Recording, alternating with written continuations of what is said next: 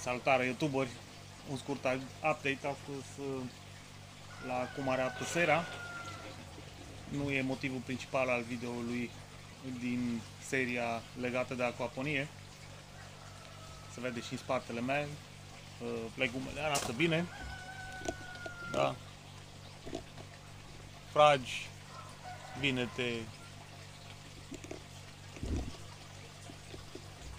ardei, covoșari, da, tot ce se poate.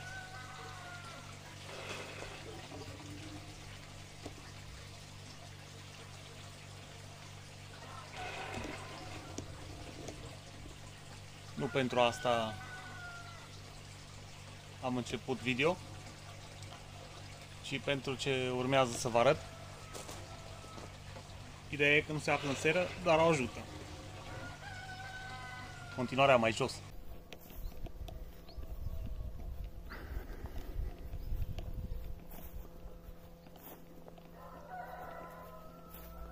Cei care au văzut videourile anterioare cu grădina mea știu că monstruozitatea asta da? nu era aici.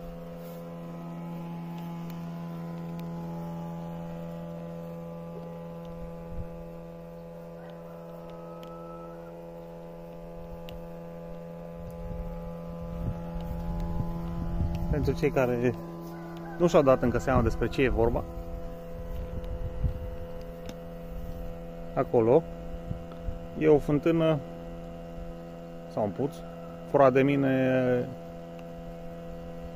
cândva prin aprilie-mai poate și un pic mai târziu um, da, din cauza COVID-ului nu prea am avut ce să fac în exterior, așa că am încercat în interior.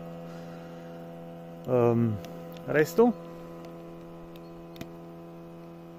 e un tracker solar cu două panouri de 200 și vreo 80 de W. Da? Are inclusiv baterii.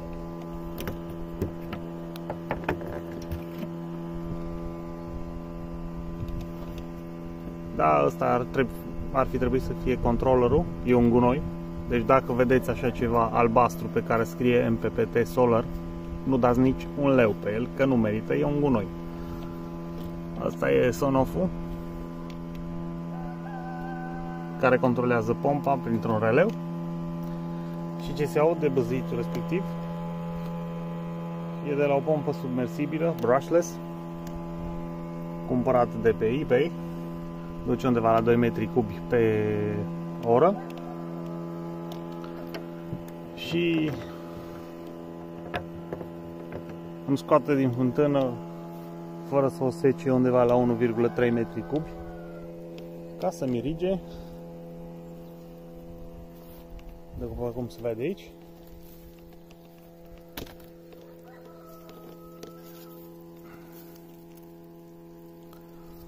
Cireși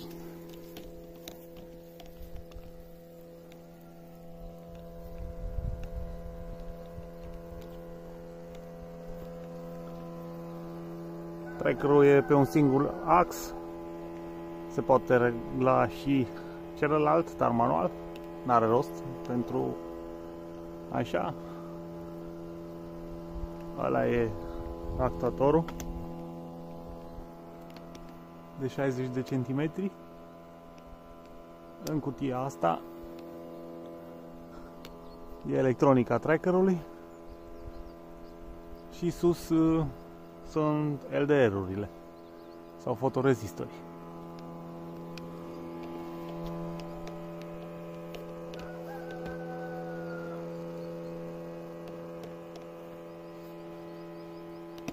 Dacă aveți întrebări, jos în comentarii, vă răspund cu plăcere.